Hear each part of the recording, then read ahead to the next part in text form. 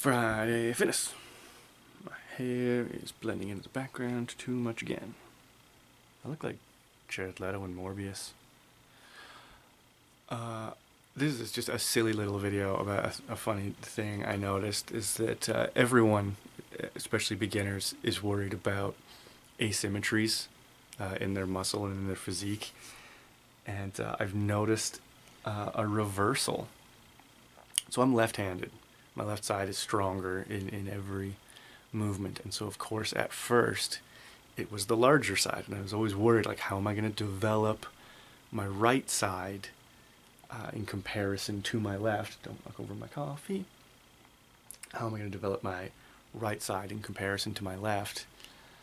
Um, and it turns out that it's not a problem. You actually don't need to worry about it in the way that you think you do because doing all these bilateral movements, even like doing um, dumbbell chest presses, right? If I do the same number of reps on both sides, like if I do just 12 bilateral presses, I've taken my weaker side closer to failure, and therefore it's going to have more hypertrophic benefits. I can get, like I, I did it as a test the other day with just bicep curls.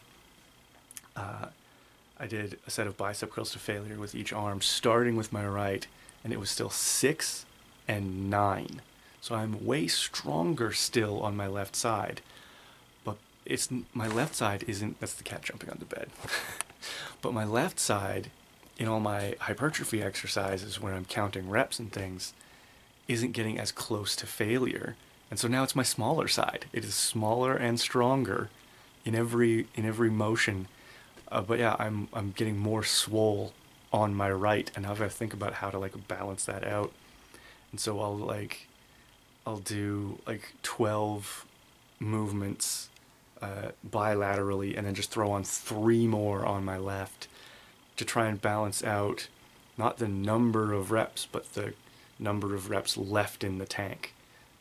Uh, so yeah, don't worry about your asymmetries when you're a beginner they will reverse themselves in a way that is uh, much, much harder to figure out. but keep at it.